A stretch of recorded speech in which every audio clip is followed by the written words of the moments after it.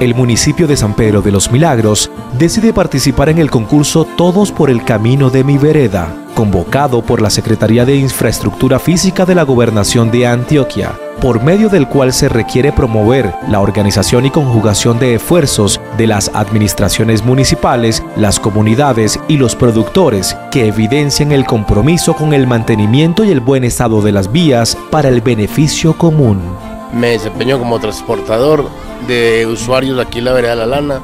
Eh, somos cuatro camperos, dos buses que transportan estudiantes afiliados a una empresa que se llama Expreso Belmira. Eh, la vía tiene puntos pues que siempre presenta problemas como de peligro. Tener y mantener esas vías en buen estado ayudará a mejorar de manera directa las condiciones de vida de cerca de 2.400 habitantes de las veredas El Tambo y La Lana y del corregimiento del Llano de Ovejas y de manera indirecta beneficia a cientos de personas que a diario se movilizan por estas vías como acceso o salida a sus lugares de destino vías que son paso obligado para que los productores de leche, agricultores y purcicultores comercialicen sus productos en la cabecera municipal de San Pedro de los Milagros y en otras regiones del departamento de Antioquia.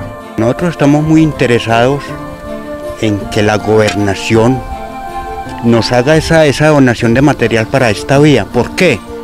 Porque si nosotros tenemos una vía en óptimas condiciones, pues vamos a tener acceso a un medio de transporte más efectivo para transportar un enfermo al, pueblo, al hospital, porque en este momento esta vía para transportar un enfermo es difícil por la vía en tan mal estado.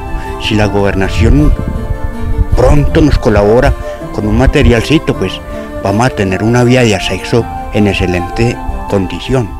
Con el mejoramiento y mantenimiento de estas vías terciarias, se facilitará el desplazamiento de cerca de mil estudiantes de las veredas El Tambo, La Lana y el corregimiento Llanos de Ovejas sugeriría pues que cambiara las condiciones de la vía. ¿Por qué? Porque estos dos buses transportan un gran número de estudiantes y si las condiciones de la vía mejoran, mejora el transporte de los estudiantes, pudiendo hacer más viajes, pudiendo mejorar las condiciones con las que acceden al servicio. Me gustaría que cuadraran la vía para, para subir a la casa porque tienen muchas vías muy malas, las carreteras son muy malas y tienen muchos huecos para uno subir y de pronto le puede caer un palo cuando uno va en la vía. Necesitamos que nos organicen la carretera, ya que no se encuentra en muy buen estado. Por esta, esta vía es muy transitable, eh, es de mucho flujo vehicular.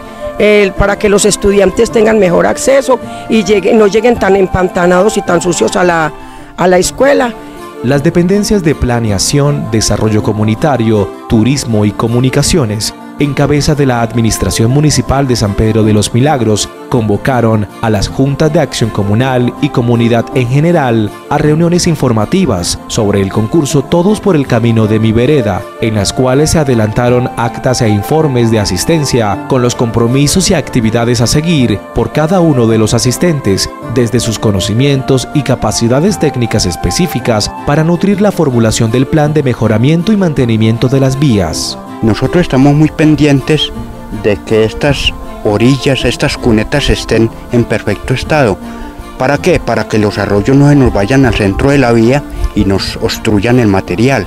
Nosotros lo hacemos muy, muy constantemente para que la vía no se nos vaya a, deteriorar hasta mucho extremo, para que así tengamos la vía en un buen estado.